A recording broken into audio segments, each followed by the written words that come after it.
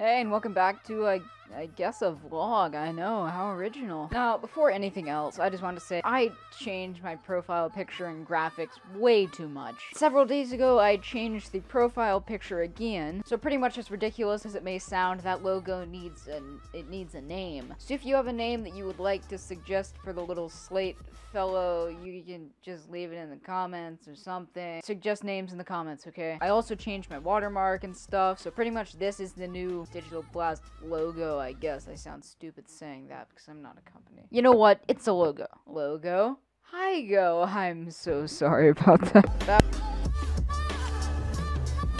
recording the first take of this video. So a couple minutes ago, I was recording a little intro for what would be this video, but now this is this video and not that. So a couple of minutes ago, I was recording an intro for this video, and I went back to review the footage, and this this microphone just didn't work. I pretty much went to record and it just like didn't do anything. So what I actually ended up doing was just like this like front part was loose, so I just tightened it. I, I guess that fixed it. I mean, it worked. I, it doesn't work. It works now, right? I honestly like have no idea what's going on right now. The microphone just stopped working again.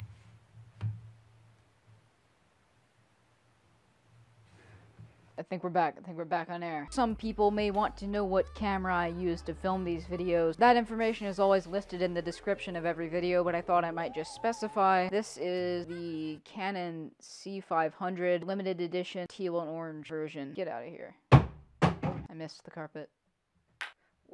Yeah. Uh, that was that was real. Totally wasn't fake. If you enjoyed that video, make sure to leave a like and share it with your friends. Subscribe to the channel for two new videos every week. And yeah, I'm reshooting this intro because I lost the footage. Okay.